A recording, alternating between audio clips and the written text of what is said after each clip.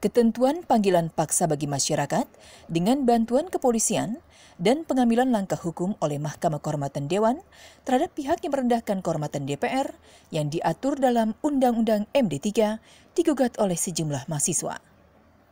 Selain itu, mahasiswa yang tergabung dalam pergerakan mahasiswa Islam Indonesia tersebut juga menganggap pengaturan tentang hak imunitas anggota DPR bertentangan dengan Undang-Undang Dasar 1945.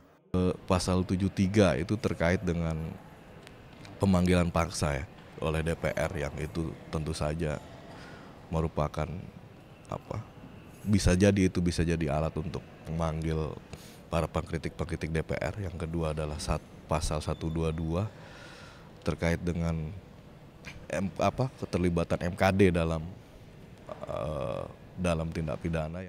Menanggapi permohonan tersebut, Hakim Konstitusi Saldi Isra meminta pemohon agar memperjelas pasal yang menyangkut DPR sebagai fungsi lembaga legislatif.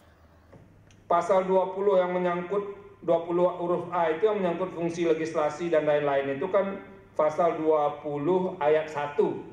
Jadi pasal 20 A itu ada ayat 1, ayat 2 begitu ya. Ini supaya lebih jelas. Atas nasihat hakim tersebut, Agus menjelaskan akan memperjelas pasal ini maksud tersebut di persidangan selanjutnya. Bayu Caksono, Hamdi, MKTV News melaporkan.